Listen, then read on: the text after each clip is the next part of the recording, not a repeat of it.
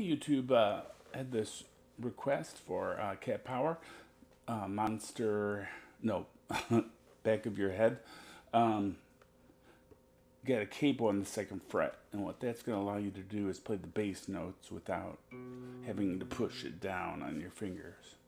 So uh, second fret, your bass notes are uh, starts on D, and then alternates with A. So this is the basic.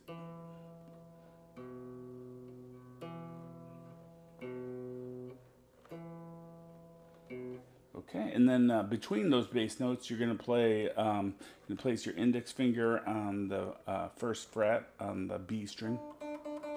Makes, uh, and then you're going to uh, see, let's see, it's D.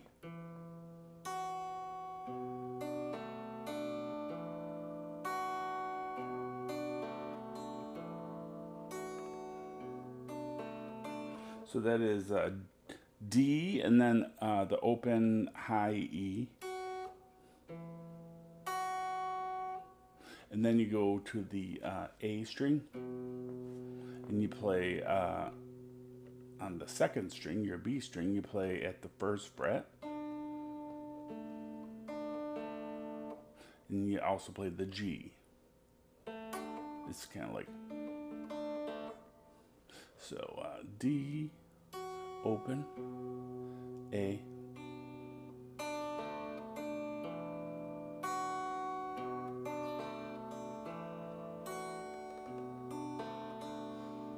And then the only other part is um, you can uh, play the uh,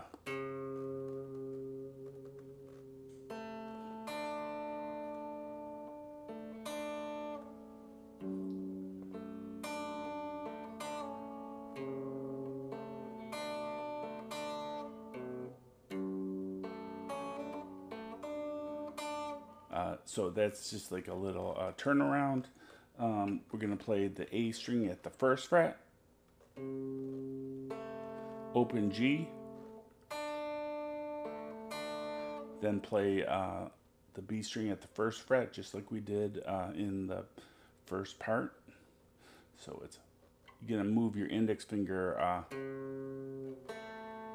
while you're playing that open G, you're going to move your index finger back down to where it was.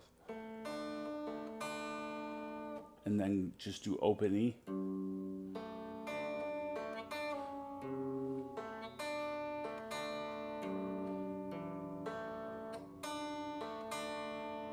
And then right back and straight back into the, the same thing at the beginning.